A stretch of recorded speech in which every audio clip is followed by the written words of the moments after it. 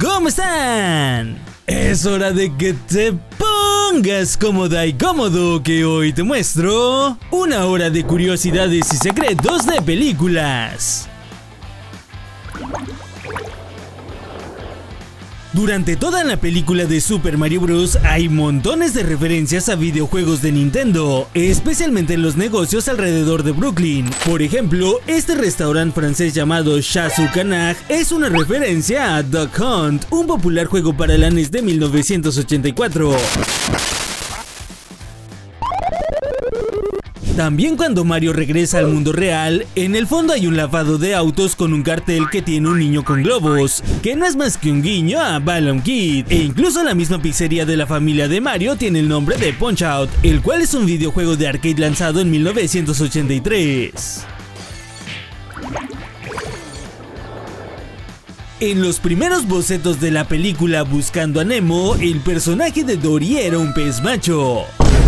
Pero después de que el director de la cinta viera uno de los stand-up de Ellen, se percató que ella sería perfecta para el personaje si fuera un pez hembra. Y pues como es el director y podía hacer lo que quisiera, decidió modificarla. Luego contrató a la presentadora para que le diera vida y el resto es historia.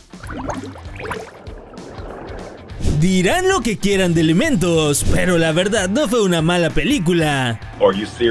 Digo, no es una joya del séptimo arte, pero tiene algunas cosas rescatables. Viejo sabroso. En esta historia vemos como Ember y Wade se conocen, se enamoran y tienen un bebé. Ya Bueno, en realidad iban a tener un bebé, pues aunque parezca sacado de una imagen clickbait, en las primeras etapas de la producción se había planeado que ellos tuvieran un hijo. ¿Qué? En esta secuencia eliminada se puede ver cómo el papá de Ember está cuidando del pequeño Steam. Y es que un dato bastante interesante es que el bebé no sería de agua ni de fuego, sino que sería de vapor, lo cual a mi parecer es bastante interesante. Qué raro. La razón del por qué rechazaron esta escena es porque prefirieron que el final se centrara en la relación de Ember con sus padres, dejándonos en claro que la mentalidad de Bernie había cambiado. Ay, qué bonito. Eh, la verdad es que a mí sí me hubiera gustado ver a este personaje.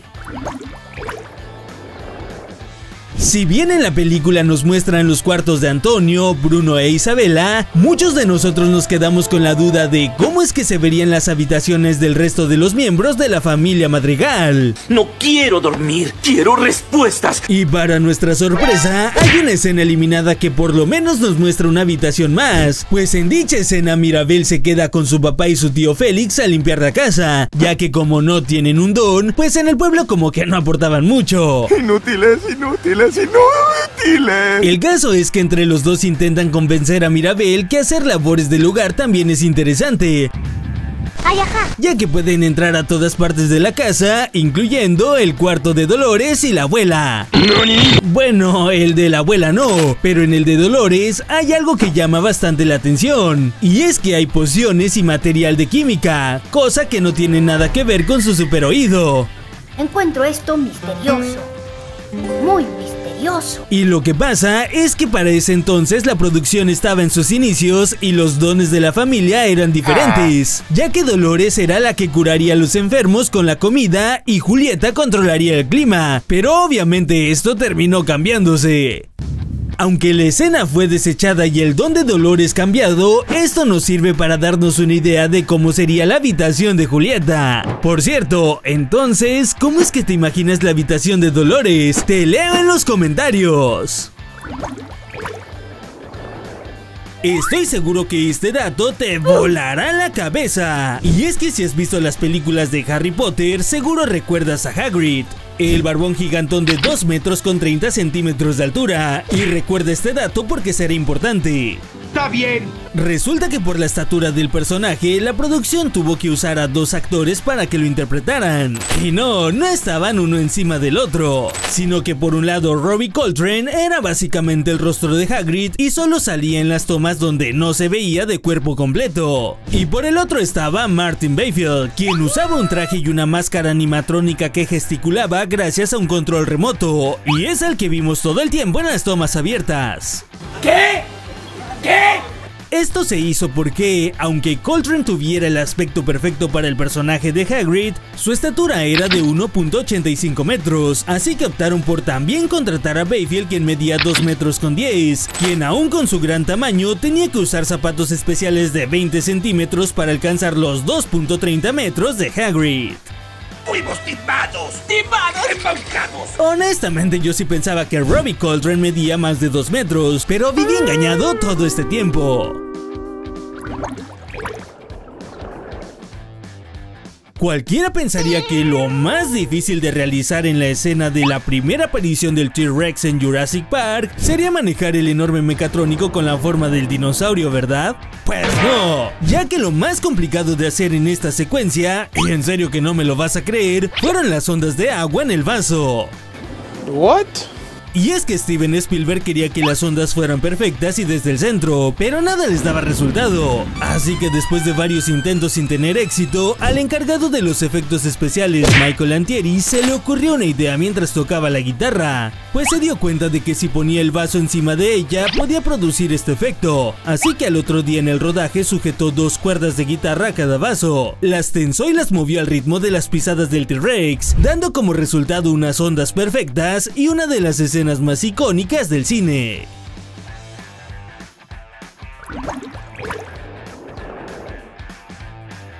Una de las razones por las que desde un principio las películas animadas de Disney se hicieron muy populares es porque a pesar de ser animadas en 2D y pintadas a mano, daban la ilusión de que los fondos tenían tres dimensiones. Y para lograr esto, Walt Disney junto con su equipo implementaron algo llamado la cámara multiplano. La cámara multiplano. En pocas palabras, este era un mecanismo en el que se colocaban cuatro imágenes de fondo superpuestas una con la otra y las cuales se podían mover de forma independiente. Por ejemplo, cuando quieres hacer un acercamiento en un solo dibujo, todo se mueve al mismo tiempo, pero con la cámara multiplano podían moverse solo las partes deseadas del fondo, y como podrás ver en este caso todo se mueve menos la luna, dándole un realismo increíble. Qué trucazo, ¿no? La primera cinta en la que se implementó este trucazo fue en Blancanieves de 1937 y obviamente en la actualidad ya no se usa, pues la última película en hacerlo fue La Sirenita de 1989. A menos de que vivas debajo de una piedra, dudo mucho que a estas alturas aún no hayas visto la peli de Spider-Man Across the Spider-Verse. Pero por si las dudas, déjame advertirte que este video tiene un gran spoiler. Así que toma tus precauciones. Ok. Resulta que al final de la cinta, Miles llega al universo del que era originaria la araña que le picó. Y casi todo es igual, solo que hay un pequeñín pelín detalle. Y es que en este lugar Miles no se convirtió en Spider-Man, sino que aquí es el merodeador. El negrito, ojo claro. Existe una escena eliminada en la que nos mostraban un poquito de esta versión de Miles, en la cual se ve que está escapando junto con su tío debido a que robaron medicinas para ayudarle a su mamá que trabaja en el hospital. O sea que más que un villano, el Miles Osuna podría ser un antihéroe. Obviamente la descartaron porque rompía con toda la sorpresa del final de la cinta. Pero bueno, tampoco sabemos si la van a utilizar para Beyond the Spider-Verse que se estrena en 2024. Una de las mejores cosas que tiene la peli Detective Pikachu fue el perfecto equilibrio entre el diseño realista y el animado de los Pokémon. Y todo esto se lo debemos a un fan llamado RJ Palmer, pues los fanarts de este chico llegaron hasta los ojos de los productores de la cinta cuando estos estaban buscando diseños realistas de Pokémon en internet para contemplarlos en la cinta. Al ver el trabajo de Palmer quedaron tan impresionados que decidieron contratarlo como artista conceptual de la cinta. ¿Sabías que en Elementos hay un montón de caníbales? Dios mío, señor. Y es que si te fijas bien, los elementos de agua comen hielo, que no es otra cosa que agua congelada. Y en el caso de estos niños arbusto, están comiendo unos palitos de madera. Ah, creo que hubiera deseado no haberme dado cuenta de esto. Como ya es costumbre, en todas las películas de Pixar está escondido el número A113. Y como ya he hablado tanto del tema, ni siquiera lo volveré a explicar. Pero lo que sí te diré es que en la peli de elementos se pusieron bastante creativos, ya que en un cartel podemos ver la letra A seguida de la H y AL. Y por si aún no sabes lo que está pasando, estas últimas dos hacen referencia al hidrógeno y al aluminio, que en la tabla periódica equivalen al 1 y al 13 respectivamente. Qué interesante, ¿no crees?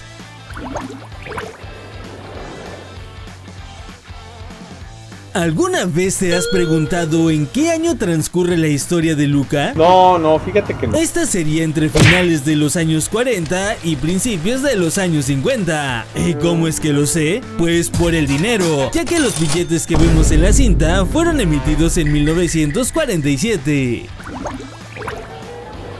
En 2012, Disney tuvo la oportunidad de innovar la industria de la animación, pero por huevera no lo hicieron y cayeron al fracaso. Resulta que la cinta de Ralph el Demoledor estaba planeada para que todos los personajes de videojuegos que aparecían en ella mantuvieran su diseño de origen.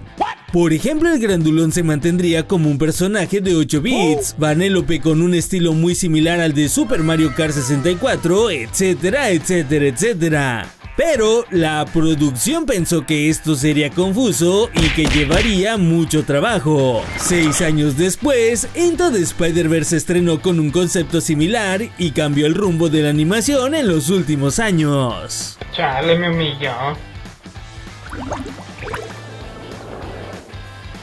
Sabemos que para algunas películas en stop motion los estudios de animación utilizan plastilina, mucha plastilina, y a día de hoy la que tiene el récord de más plastilina usada es la de Wallace y Gromit la batalla de los vegetales, ya que se usaron alrededor de 2.844 kilogramos de plastilina, eso es más de 2 toneladas, además usaban 20 kilogramos de pegamento por mes y 1000 toallitas para bebé por semana.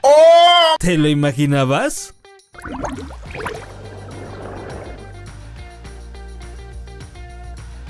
La nueva película de Disney Wish ha estado envuelta en una que otra controversia, y una de las más recientes es que algunas personas empezaron a notar que la pequeña estrella que acompaña a la protagonista se parece un montón a Luma Lee de Super Mario Bros. Para ser honestos y dejando de lado su color, sí se parecen un poco. Y sea o no casualidad, los destellos como Lumali han estado con nosotros desde Super Mario Galaxy. La vida en prisión es súper, súper cruel. ¿Y tú qué opinas? ¿Crees que Disney se inspiró de más con este personaje? Te leo en los comentarios. Algo que no ha pasado desapercibido es que Ansiedad no tiene el iris de sus ojos color naranja, sino que son de un color como turquesa. Y es que si te fijas bien, el color de los ojos de las otras emociones coincide con algo característico de ellos. Y te diría que esto tiene que ver con la psicología del color y bla bla bla. Pero lo más probable es que lo dejaron así porque en los primeros artes conceptuales Ansiedad era de color turquesa, y al final solo le cambiaron el color del cuerpo para que contrastara mucho más. En la escena postcréditos de Avengers Infinity War vemos como un helicóptero se estrella con un edificio. Pues resulta que esta es una referencia a la cinta de Los Increíbles, ya que es el mismo helicóptero que se estrella cuando Frozono está buscando su super traje. ¿Coincidencia? ¡No lo creo! Otra cosa curiosa es que Samuel L. Jackson es la voz de Frozono en la versión original de Los Increíbles.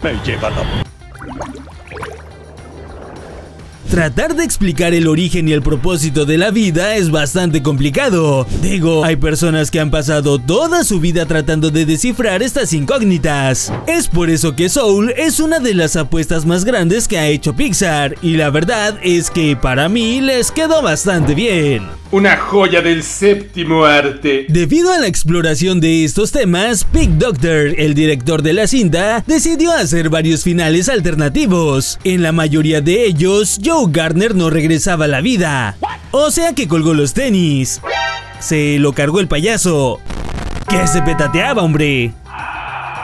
Y pese a que la mayoría de estos finales eran muy interesantes y emotivos, los escritores pensaron que no estaban siendo justos con el personaje, pues de qué le habría servido tener toda esta experiencia cósmica si no iba a tener la oportunidad de regresar a la Tierra y vivir su vida al máximo. Así es, así es. Además, Doctor también habló de otro final que involucraba a 22, ya que después de haberse lanzado a la Tierra, esta se reencontraría con Joe en alguna parte de su vida, pues el músico seguiría dando clases particulares y ella sería una de sus alumnas. Pero esto fue desechado de último momento, puesto que prefirieron dejar abierta la incógnita del paradero de 22, incógnita que aún no deja dormir a muchos por las noches. No quiero dormir, quiero respuestas. Y a todo esto, revienta ese botón de me gusta si a ti te hubiera gustado ver el reencuentro de 22 con Joe en la Tierra.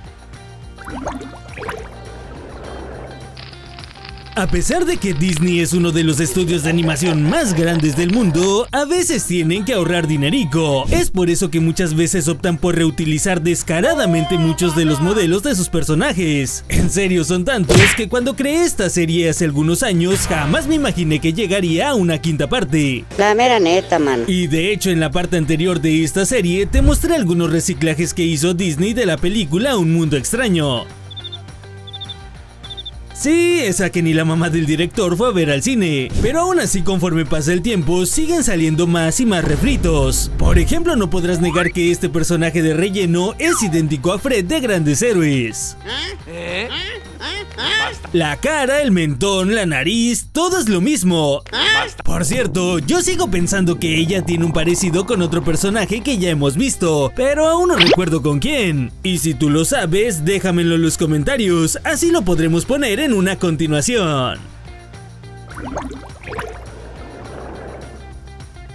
Anteriormente te mostré el parecido entre Luke y Linguini de Ratatouille, pero existen otros dos personajes de estas mismas películas que se parecen un montón, y me refiero a Hércules y al Chef Skinner. Ah, sí, eh, siempre que observen uno de esos detalles, un hechicero lo hizo. La cosa que estos dos comparten varias características, tanto físicas como en su forma de ser. ¡Hechicero! Y que conste que no soy el único que lo notó, pues incluso existen teorías que dicen que son familiares o que son el mismo personaje, pero eso sí no te lo puedo asegurar. Si las nubes de elementos se te hicieron sospechosamente conocidas, es porque son idénticas, las mismas que vemos en el corto animado de Pixar de 2009, parcialmente nublado. Ok, y en este caso es un reciclaje medianamente justificado, pues el director de ese corto fue Peterson, el mismo que hizo la peli de elementos. Y no sé si fue casualidad o desde entonces ya tenía en mente reutilizar estas nubes, guiño guiño. Pero con esto pudo ahorrarse un montón de tiempo al no tener que diseñar nuevos personajes para los elementos de aire. Maravillosa jugada. Sí, la verdad es que la jugada le salió muy bien. Parece que Pixar no quiere dejar de exprimir hasta la última gota de nostalgia que tiene la franquicia de Toy Story. Y no lo digo por la quinta película que según rumores ya está en producción, sino por los cortos. En serio, son un montón. Y pues como son pequeñas historias, es entendible que no se pongan a crear personajes desde cero. Pero lo que hicieron en el pequeño boss fue un descaro total. Justo en la primera toma vemos a un chico que está atendiendo un puesto de comida rápida con una cara de hueva. ¿Y ya te diste cuenta a quién se parece? Sí, es idéntico a Andy, pero obviamente no es Andy. Espera, espera, espera. ¿Y si es uno de los clones de Andy que fueron a su cumpleaños en Toy Story 1? ¿Es eso? ¿O los animadores reutilizaron todo su diseño? Porque ¿quién rayos ve estos cortos? Y si de reciclajes descarados de personajes hablamos, no podemos ignorar a Asha de Wish, la película que Disney hizo para conmemorar sus 100 años. Y quiero que quede muy bien remarcado esto.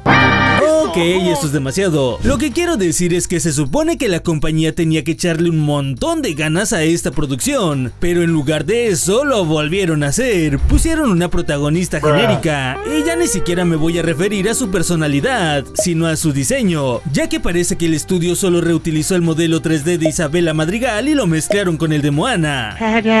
La verdad es que hasta los colores del vestido son similares con el de Chabela, pero bueno, supongo que a Disney no le interesa a invertir un poco para que otro tipo de animadores les refresquen sus ideas.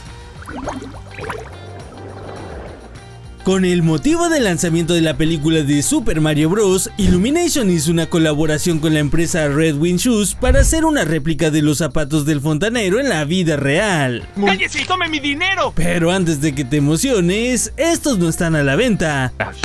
Simplemente se hicieron para estar exhibidos en la Nintendo Store de Nueva York.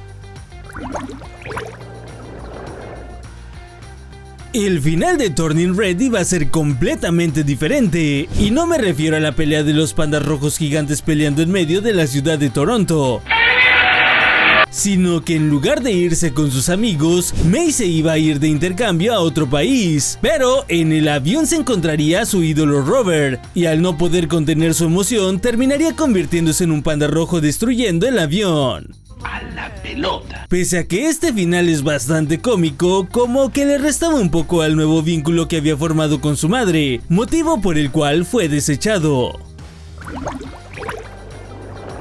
Al final de los créditos de Buscando a Nemo, podemos ver al mismo pequeño pez verde que estuvo en la junta de los tiburones, y cuando creíamos que tendría un final bastante feo, de repente se come al pez diablo que persiguió a Marlene y a Dory. ¿Qué pedo?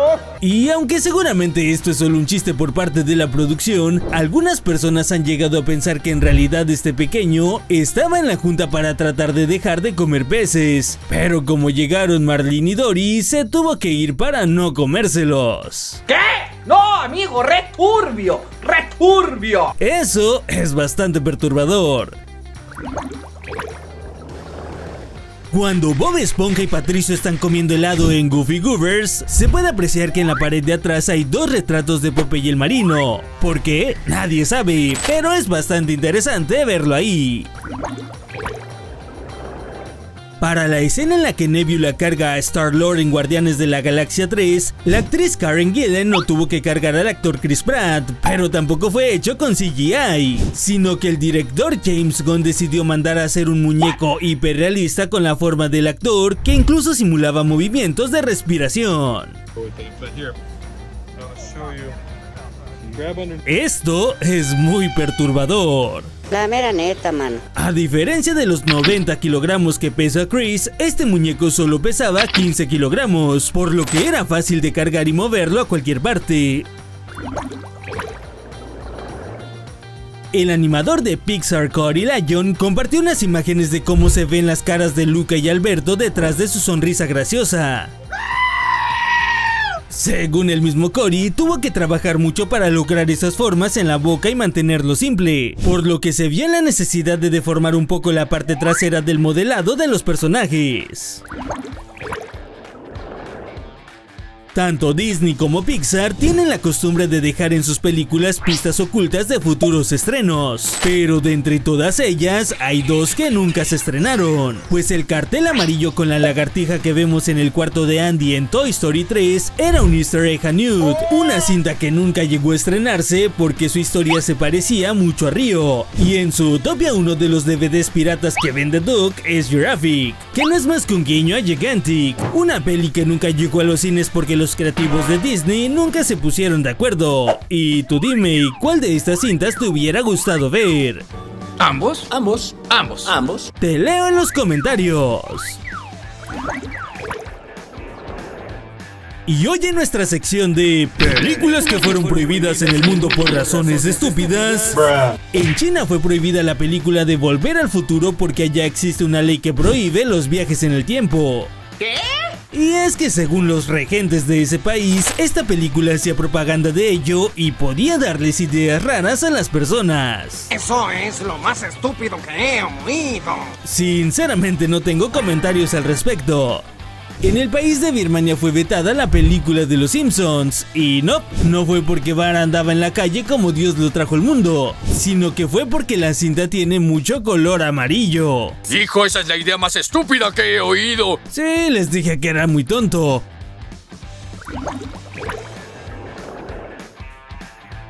Pese a que las estatuillas del Oscar están bañadas en oro, estas solo cuestan un dólar. Llevaré 10. Pero antes de que te emociones, en realidad nadie puede comprar una, pues los actores y actrices que ganan uno de estos premios firman un contrato en el cual especifica que, si quisieran vender su estatuilla, primero se la tienen que ofrecer a la academia por un mísero dólar. Y por supuesto, esta lo aceptará. Esta cláusula fue implementada en 1950. Por esta razón hay algunas estatuillas antes de esta fecha que se han vendido en el mercado negro hasta por millones de dólares. En la peli de Spider-Man Across the Spider-Verse, vemos que Miles Morales hace dos videos para disculparse por anunciar talco para bebé y por dejarse crecer el bigote. Lo curioso es que en ambas publicaciones tiene más dislikes que vistas, muchas más. ¿Qué está pasando? ¿Será que los animadores se equivocaron o solo querían dejar en claro que Spider-Man siempre tendrá una cantidad desmedida de haters? Cuando Luigi y Mario bajan a las alcantarillas también hay cosas interesantes. Por ejemplo, al caer de las tuberías los hermanos rompen una pared y la forma de la silueta que queda es la cara de Mario de 8 bits. Joder, esto es cine. Más adelante en un cartel se ve que dice nivel 1-2, que sería el equivalente del nivel 1-2 del juego de Super Mario Bros. ¿Te habías dado cuenta de estos detalles? El libro favorito de Ricitos de Oro, una colección de cuentos de hadas volumen 1, era en realidad propiedad del orfanato en el que estuvo anteriormente, y en la contraportada podemos ver que fue prestado a otros personajes de cuentos de hadas como Hansel y Gretel y hasta el mismo huevo Humpty Dumpty. ¿Qué pensarías si te dijera que muchos de los autos que vemos en las películas no son reales? ¿Qué? Te presento al Blackbird, un carro que, gracias a un programa especial, puede transformarse en cualquier auto. Solo bastará con hacer la toma y al final con un poco de magia informática se ajusta el modelo, tamaño, colores, etc. Me quedé como, what the fuck? Sí, yo también me sentí engañado.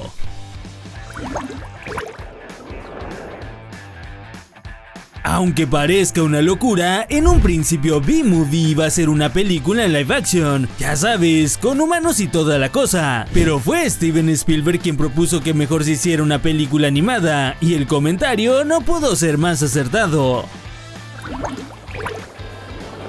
Si te preguntara qué le cambiarías a la película de Coco, seguramente me dirías que nada.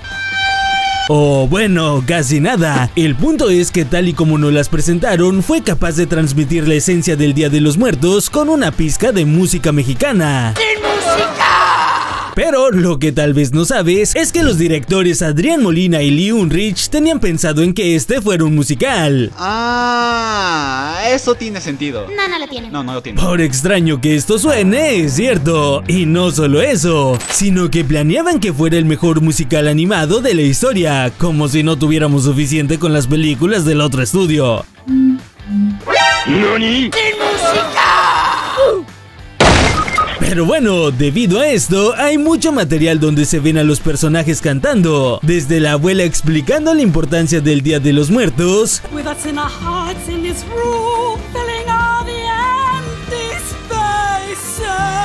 hasta una canción de los Rivera. Que ahora que lo pienso, esto me recuerda a otra película que vimos recientemente. Por fortuna todas estas escenas fueron eliminadas, porque seamos sinceros, nadie quiere un musical de Pixar, y mucho menos de una familia mexicana que odiaba la música. Cuando el gato con botas está peleando con el gigante, se pueden apreciar algunos detalles bastante curiosos. Por ejemplo, el cartel con el que choca el menino es de la tienda de pies de Jack Horner, y unos segundos más adelante se ve entre la multitud a la muerte. Oh my god. Pero, sin duda el detalle que más me gustó es que si pones atención en las campanadas que suenan durante la batalla podrás contar 7.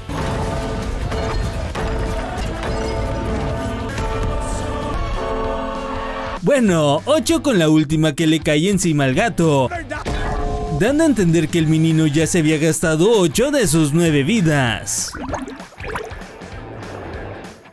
Anteriormente te platiqué que en los primeros artes conceptuales de Toy Story 2, Jessie la vaquerita era un cactus. Y aunque la idea obviamente fue rechazada, Miss Cactus sí aparece en la cinta, ya que en la tienda de Al podemos ver unas cajas de este juguete.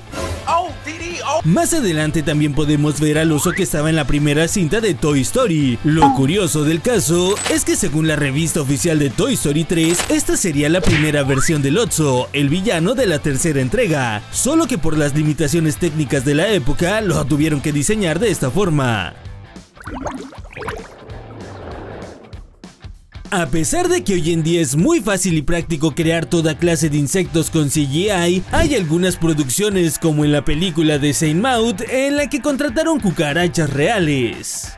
Como dijo. Resulta que Grace Dickinson es una especialista que ha dedicado cientos de horas en entrenar cucarachas para el cine y la televisión. Así que la próxima vez que veas una cucaracha en el cine, es muy probable que sea de Grace. ¿Alguna vez te has preguntado quién es la mujer que aparece en el logotipo de Columbia Pictures? No, no, fíjate que no. Bueno, si alguna vez lo has hecho, déjame decirte que se trata de Jenny Joseph. Y contrario a lo que podrías pensar, ella no es modelo, sino que era amiga de la reconocida fotógrafa Kathy Anderson, quien en 1991 le tomó unas fotos para que luego el ilustrador Michael J. Dees hiciera la famosa pintura que daría origen al logo de Columbia. Esa es una historia de origen brutal. Sin embargo, lo que sí es un misterio es que no se sabe con exactitud quiénes fueron las mujeres que inspiraron el logo antes de 1991, pues casi siempre cambiaban y no hay registro de ellas. ¿Qué tienen en común las películas del Planeta del Tesoro y Atlantis el Imperio Perdido? Que ambas son infravaloradas y que Kida sale en ambas. Atlantis el Imperio Perdido se estrenó en 2001, mientras que el Planeta del Tesoro llegó a los cines en 2002. Por lo que, y esto es mera suposición mía, ambos proyectos se desarrollaron casi al mismo tiempo. Así que tal vez por huevera, los animadores decidieron utilizar muchas de las facciones de Kida para Sarah Hawkins, la mamá del protagonista que aparecería muy poco en la cinta. Sí, sé que el estudio tiene que guardar su estilo y bla bla bla, pero ¿y si solo eso es una excusa? Pues solo basta con cambiar del color de cabello a Sara y ponerle las marcas en la cara para que se vea más notorio. Ven, se los dije, se los dije, yo no estaba loco. Una de las cosas que caracteriza a Tom Cruise es hacer sus propias escenas de riesgo sin importar lo peligrosas que sean, y esto lo volvió a hacer en Misión Imposible Sentencia Mortal, pues el salto en moto que vemos en un acantilado fue real.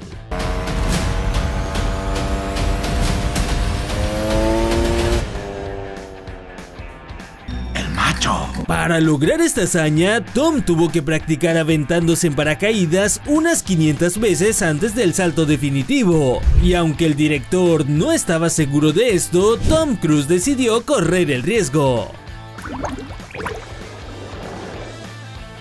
A menos de que vivas debajo de una piedra, dudo mucho que no sepas quién es Mr. Beast.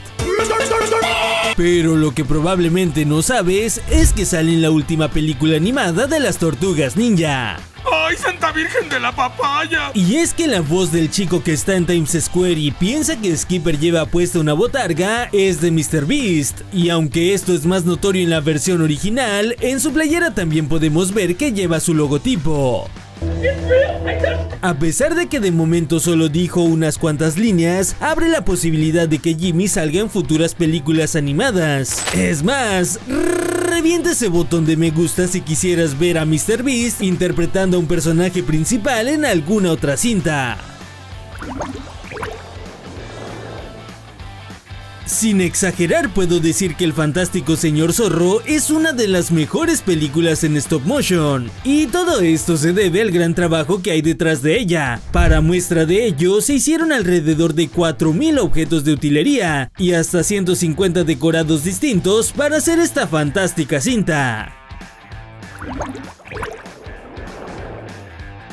¿Sabías que para la película de Godzilla, el rey de los monstruos, tuvieron que contratar a un enorme monstruo de 150 metros de altura que interpretara a Ghidorah? Oh sí, me pagaron muy bien por esa película. Ah, te creas, para darle vida a este gigantesco kaiju se tuvo que contratar a tres actores para que gesticularan y le dieran una personalidad independiente a cada cabeza. Ya luego en postproducción les agregaron el CGI y quedó como lo vimos en pantalla. Durante la escena de la cena en Hotel Transilvania 4 hay un salero con una forma muy particular y es que este está inspirado en la doncella de hierro, un instrumento de tortura y pena de muerte usada durante el siglo XVIII. ¡Dios mío! ¡Qué loco, ¿no?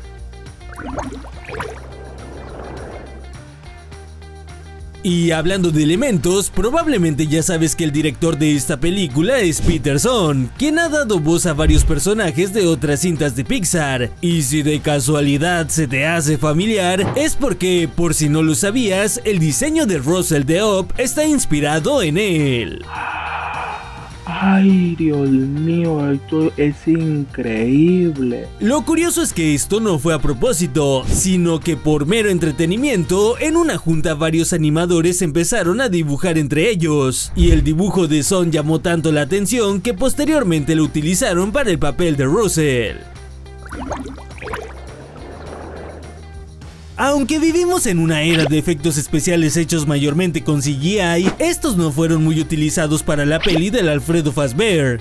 Is this Freddy Fazbear? Or, or, or, or, or, or, or, or, or. Y es que para darle vida a estos icónicos personajes, la producción decidió mandar a hacer unos mecatrónicos 100% reales. Además para las escenas con movimiento, unas personas estaban dentro de unas botargas especiales, dándole una sensación realista que obviamente el fandom apreció bastante. Así es, así es. Por cierto, estas botargas fueron creadas por The Jim Henson Company, la compañía del famoso titiritero que creó a los Muppets y que a lo largo de los años han ido perfeccionando su arte. Si alguna vez te has preguntado quién es el niño que aparece en la silueta del logotipo de DreamWorks, pues ahora mismo lo sabrás. No quiero dormir, quiero respuestas. Se trata de William Hunt, hijo del artista Robert Hunt, quien fue quien creó el diseño para la compañía. ¡Súper! Ahora ya puedes dormir en paz. Estoy seguro que alguna vez has visto una escena en la que los personajes se comen insectos o gusanos. Y por si te lo estás preguntando, no, no se tratan de bichos reales, sino que las producciones tienen un equipo especializado que se encarga de recrear estos insectos de una forma tan realista que nos hacen arrugar la frente, pero la mayoría de ellos están hechos simplemente con una mezcla de gelatina, colorantes y hasta saborizantes agradables para que los actores disfruten al comerlos. Señor, la información que suelta es asquerosa. ¿Y a ti no se te antoja una cucarachita?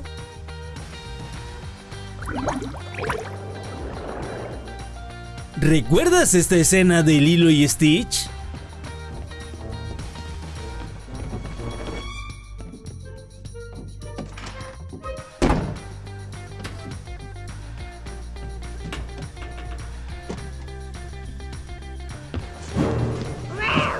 Probable que si viste esta peli antes del 2019 sientas como que algo no encaja. Y estás en lo correcto, pues en el corte original Lilo se escondía en una lavadora, pero con la llegada de Disney Plus, la compañía decidió modificarla, reemplazando el electrodoméstico por una caja de pizza. Esto para que los niños no terminaran estancados en las lavadoras. What? ¿Y tú qué opinas al respecto? ¿Crees que fue necesario? ¿Conoces a alguien que se haya metido dentro de una lavadora por ver Lilo y Stitch? Te leo en los comentarios.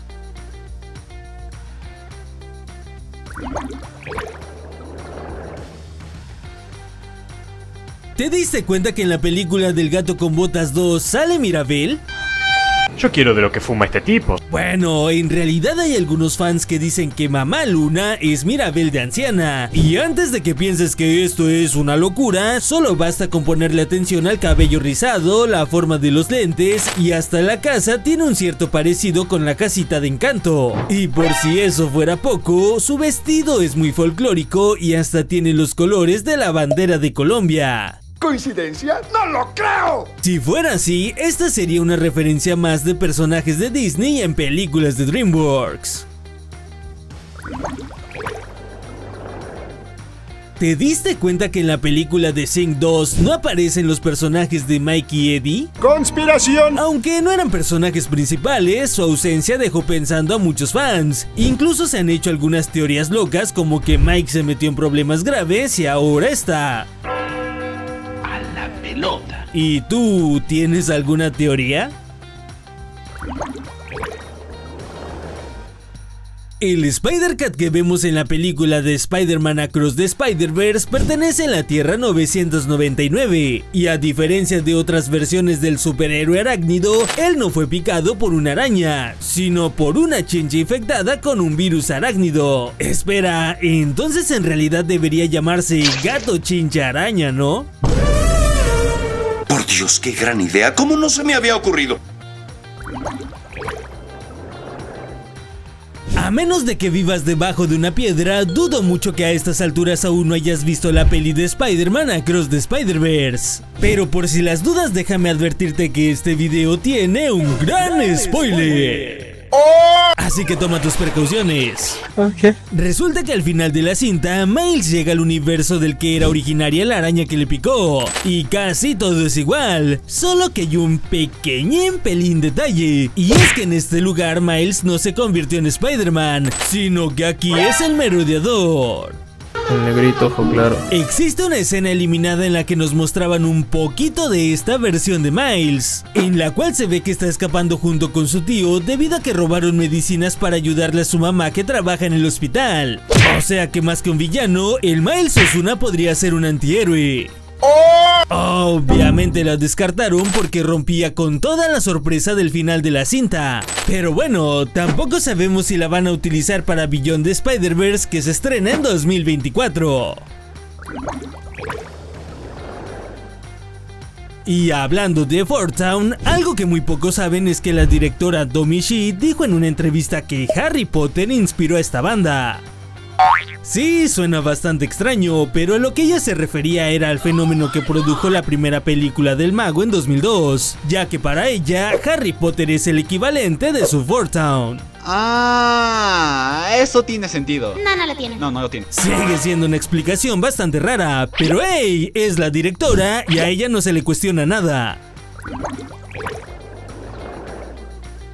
Probablemente lo has notado o tal vez no, pero generalmente el intro de Columbia Pictures cambia según la película. Por ejemplo, en Lluvia de hamburguesas le cae una banana, en Spider-Man Into the Spider-Verse tiene un efecto de glitch y en Zombieland Double Trap hasta se defiende de los zombies.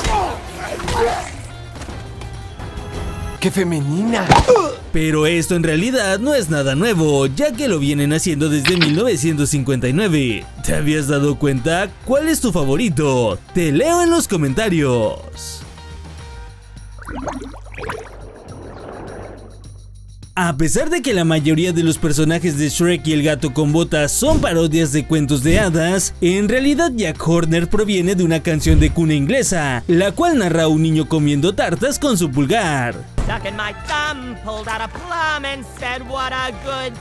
Algo bastante interesante es que en la película Jack pierde popularidad por culpa de Pinocho, y es que en la vida real, la canción de Horner se empezó a cantar a finales del siglo XVIII y popularizarse en 1870. Pero en 1881, Carlo Collodi escribió su libro Las aventuras de Pinocho, el cual obviamente fue más famoso que la canción de Jack.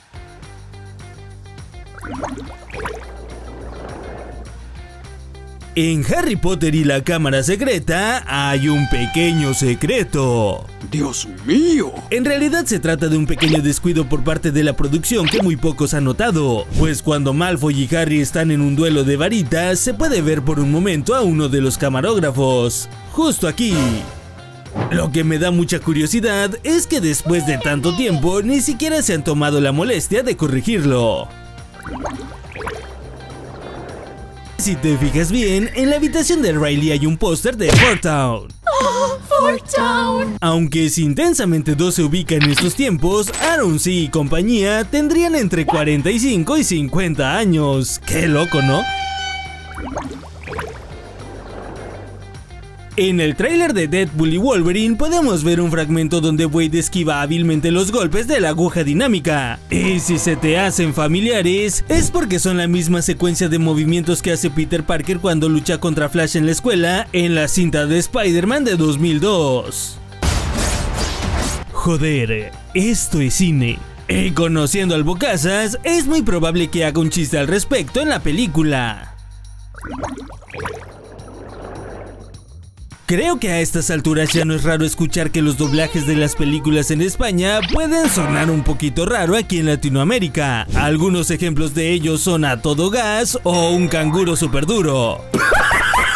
Y uno de los casos más recientes lo podemos ver en Elementos, ya que le cambiaron los nombres a los personajes. My name is Amber Lumen. My family runs a fire shop. Wade wrote us a bunch of tickets yesterday. Mi nombre es Amber Lumen. Mi familia tiene una tienda de fuego. Wade nos multó cuando estuvo ayer. Me llamo Candela Lumen. Mi familia tiene una tienda de fuego. Nilo nos puso unas cuantas multas. ¿Por qué? ¿Quién sabe? La verdad no pude encontrar información del por qué lo hicieron.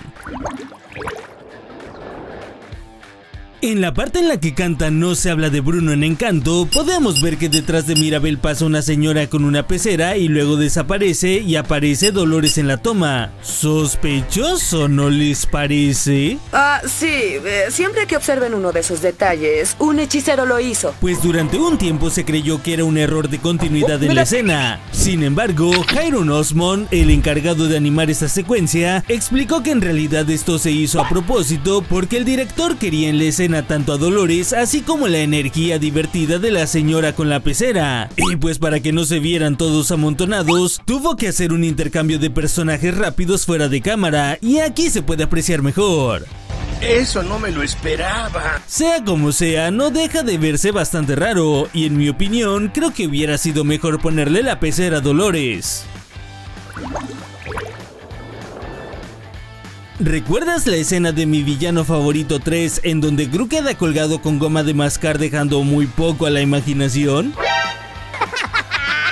Pues resulta que originalmente en esta escena Gru iría completamente encuerado, aunque tampoco enseñaría de más.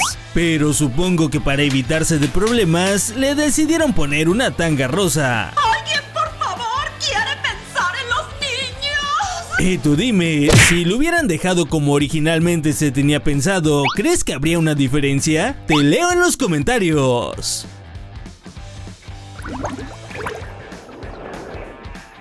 ¿Sabías que existe una versión de Harry Potter de 1950? Las mentiras hacen llorar al niño Dios. Ay, en serio, este increíble montaje fue creado con inteligencia artificial por el youtuber Abandon Films. Y honestamente se me hace bastante increíble lo bien que le quedó. En Lilo y Stitch, cuando Stitch está persiguiendo a la gente en la playa, se puede ver por unos segundos a las versiones animadas de los directores de la cinta. Estos son de Andy Bly y Chris Under respectivamente. Para este punto me gustaría preguntarte, ¿cuánto crees que dura la película más larga en la historia del cine? Esa es una excelente pregunta. Si dijiste 3, 4 o 5 horas, estás muy equivocado, pues en 2012 se estrenó Logistics, una película experimental que tiene una duración de 857 horas. ¿Qué? Esos son 35 días con 17 horas, y si tienes algo de tiempo libre para verla, puedes buscarla en línea. Es imposible imaginar a Pixar sin su icónica lamparita Luxo Jr., pues con el paso del tiempo se ha convertido en un emblema del estudio de animación, y tal vez no lo sepas, pero esta marca de lámparas en realidad existe, y de hecho, en 2009 demandaron a Pixar por vender juguetes de Luxo Jr. sin su consentimiento, pues aunque el estudio tiene los derechos para usar a la lámpara en sus videos, no los tiene para hacer productos bajo este nombre. ¡Te lo merecía, cerdo! Al final se supo que llegaron a un acuerdo amistoso y retiraron la demanda.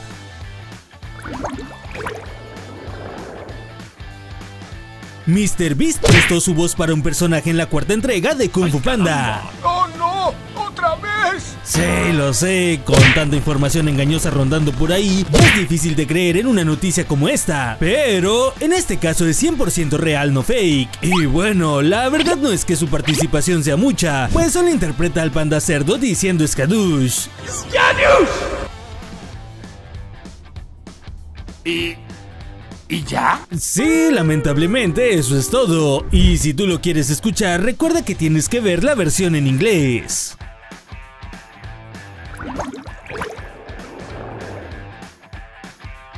A veces es difícil notar los pequeños detalles que tiene Pixar, y no, no me refiero a los easter eggs, sino a los pequeños detalles que tiene con su público internacional, ya que el estudio se ha dado la tarea de adaptar ciertos aspectos de sus películas para algunos países. Por ejemplo, en la versión original de Ratatouille, la carta de la madre de Linguini originalmente está en inglés, sin embargo en la versión francesa pues obviamente está en italiano. Nah, mentiras, obviamente está en francés, pero sin duda uno de los casos más increíbles es el de Op, una aventura de altura, ya que el libro de Ellie fue modificado en un montón de idiomas diferentes. ¡Qué gran detalle, ¿no crees? La última obra de Hayao Miyazaki, El niño y la garza, se ha convertido en la ganadora del Oscar a Mejor Película Animada de 2023. Y no es para menos, pues en su estilo de animación y detalles está plasmado el trabajo de 60 animadores a lo largo de 7 años. Una joya del séptimo arte. Y algo que verdaderamente me voló la cabeza es que el productor Toshio Suzuki reveló que en algún momento llegaron a producir solo un minuto de animación por mes, convirtiéndola en una de las cintas más caras y minuciosas que se han producido en Japón.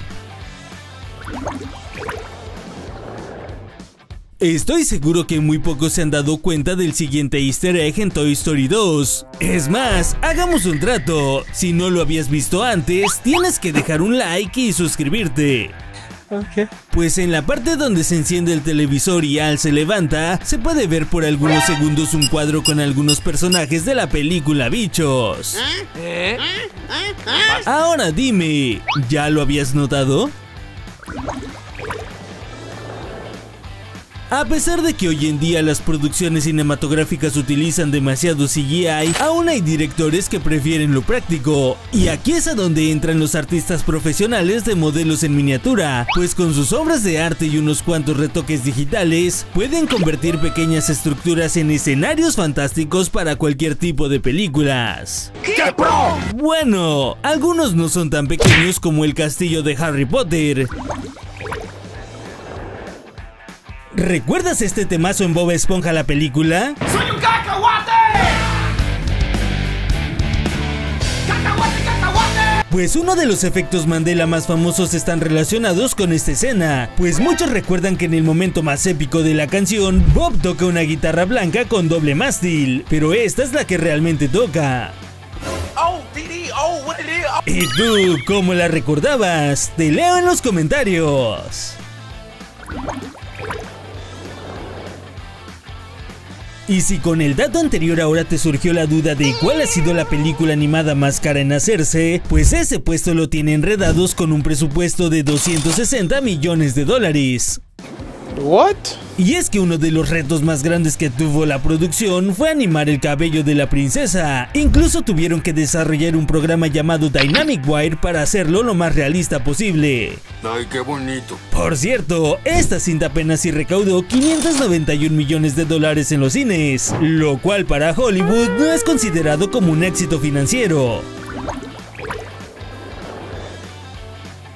No cabe duda que Garfield es uno de los personajes más emblemáticos de la cultura pop, pero ¿sabías que este gato no se llama Garfield en todo el mundo? Y no, esta vez no fue España quien le cambió el nombre, sino que Noruega, Finlandia y Suecia se llama Gustav. ¿Por qué? Ni idea, pero supongo que ellos tendrán sus razones. ¿Sabías que el rugido de Godzilla alcanza los 174 decibeles? Yo no entiendo nada. Esta es una unidad de medida para el sonido. Por ejemplo, el tráfico de una ciudad tiene 80 decibeles, mientras que un concierto de rock puede alcanzar los 120. Y la cosa es que sonidos por encima de los 120 decibeles son muy perjudiciales para la salud. Entonces, si Godzilla existiera en la vida real y alguien estuviera a menos de 25 metros de distancia de su rugido, pasaría algo como esto. Bueno, tal vez exagere un poco, pero lo que sí es cierto es que los tímpanos se reventarían e incluso podrían provocar la muerte. Dios mío.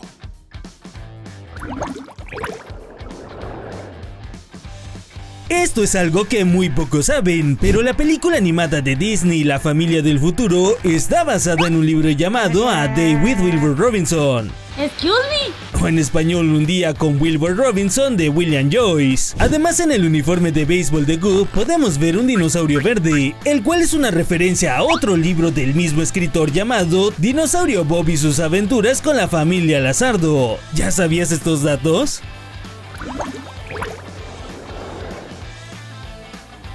Algo bastante interesante que podemos notar en la película de las locuras del emperador es que no todos los animales pueden hablar, es decir, solo hablan aquellos que fueron transformados por la poción de Isma. Uh, creo que me hicieron buey. Y siguiendo esta línea, entonces quiere decir que cuando una mosca suplica por su vida antes de ser comida por una araña, en realidad se trataba de un humano.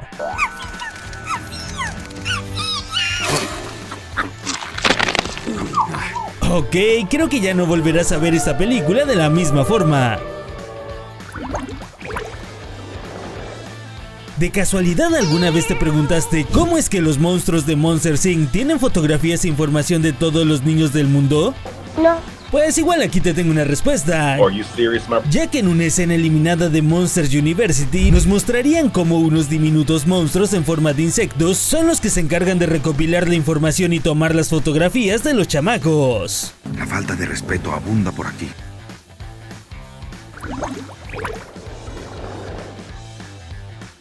A pesar de que la película de Avengers La Era de Ultron tuvo un costo de producción de 365 millones de dólares, no es la cinta más cara de la historia. Y no, tampoco es Avatar El Camino del Agua, sino que de acuerdo con la revista Forbes, ese título lo tiene Piratas del Caribe 4 con un coste total de 410 millones de dólares. Es mucho dinero. Para fortuna de Disney, esto fue recompensado en taquilla, ya que esta peli logró recaudar más de un billón de dólares. Uno de los sonidos más icónicos de Star Wars, que digo de Star Wars, del cine, es la respiración de Darth Vader.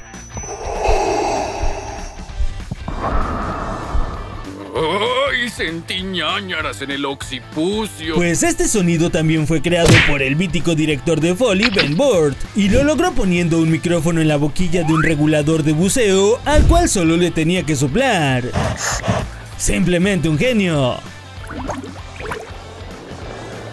Cuando Megamente y Metroman están discutiendo a través de las cámaras, podemos ver cómo Metroman desaparece por una fracción de segundo en una de las pantallas. ¿Ve? ¿Lo ve? Ah, ¿no lo ve? Veámoslo en cámara lenta. Aquí, justo aquí. Y si te fijas bien, al mismo tiempo aparece en la otra pantalla detrás de Megamente. Esto hace sentido más adelante cuando Metroman cuenta cómo planeó su muerte, pues toda la secuencia de su crisis existencial pasa en este 24avo de segundo, incluyendo cuando aparece detrás de Megamente. Esto quiere decir que la velocidad de Metroman está rotísima, e incluso rivalizaría con los velocistas más famosos de la ficción. Existe una teoría bastante vieja que dice que Violeta Parr no es hija de Mister Increíble. Esto se sustenta principalmente en que el color de cabello de Violeta no se parece al del resto de su familia. Además, en la teoría se sugiere que el padre sería Snog, el piloto que le prestó el avión a Elastigirl para ir a rescatar a Bob. Pero qué estupidez. Recuerda que esta teoría no es mía, pero personalmente desde la primera vez que vi la cinta, sí se me hizo un poquito raro ver que Elastigirl tuviera una foto de Snog en su buró junto a las fotos de su familia. Sospechoso, ¿no les parece? ¿Es eso o Violeta es adoptada?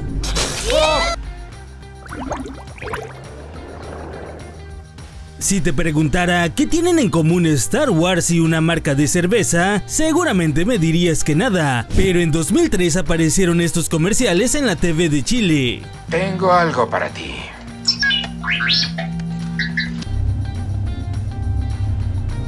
¡Cerveza Cristal! Y si tú como yo no recuerdas que Obi-Wan fuera un T por 8 en potencia, es porque esta compañía de cervezas chilena utilizó fragmentos de películas de Star Wars y con una edición impecable añadió latas de su producto para que pareciera que estaban en las películas. ¡Cerveza Cristal! Ese miserable es un genio. Y aunque debemos admitir que esto es una genialidad, al final fueron demandados por George Lucas, obligándolos a quitar los comerciales de la TV. Pero gracias al internet, bendito internet, regresaron 21 años después en forma de meme.